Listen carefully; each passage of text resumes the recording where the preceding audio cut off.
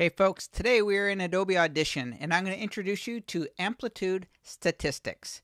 So let's say you just recorded your podcast episode and you want to find out just how loud you recorded in. You know, everybody tells you to sit between maybe minus 18 and minus, minus 9 dB when you're recording, or maybe up to minus 6 is another good rule. So, how do you know just how loud your audio is or where the highest peak is? Because that's going to help you determine how you compress your audio. So let me show you. This is a very simple thing to do, but it's something handy to know about. So again, the tool that we're looking at today, it's a panel inside of Adobe Audition, and it's called Amplitude Statistics. So let me just show you exactly how to do it. So let's go ahead and record a quick little file here so I can have a sample. And to start a new file in Audition, you can go to File, New, um, Audio File, or just go to Shift Command N. That's the easiest way. I'm going to call this Test. Okay, 44.1 mono and 32-bit float. That's how I do my podcasts.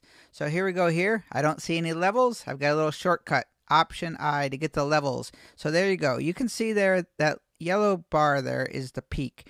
That is the the top of the um, weight or the levels there. So I'm coming in between 18 and minus 9, and that's where I typically do. So let's go ahead. I'm going to hit Shift in the spacebar to start recording.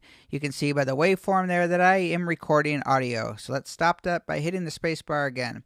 All right, so here we have a piece of audio, and you can go over to the side here. You can see this bar going over here. That's the that's the decibels right there and you can kind of get an idea um, but it sure is a lot easier for to have audition do it for you and i'm going to show you how to do it over here if you don't see amplitude statistics in any of these panels just go to window the very first one amplitude statistics. And this little setting comes up. And there is a lot to do in this panel. I'm not going to show you all of it right now but there's a lot that you can learn from this panel. All we're going to do today is i'm just going to show you how to do how loud your audio is, or in the amplitude statistics, it's called the peak amplitude. Okay, so what you want to do is just hit Command A to highlight the entire clip.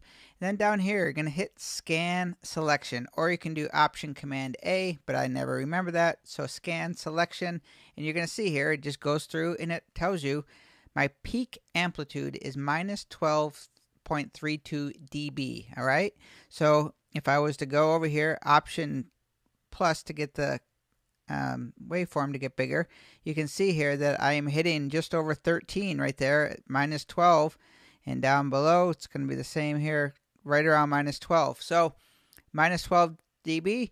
And again, there's a lot to do in here. We'll probably go over these in future in future tutorials. Dynamic range, you can see. This is another big one here, minus 29.35 LUFS broadcast standards is minus 19, so I have to get that much louder in order to get it up to the minus 19.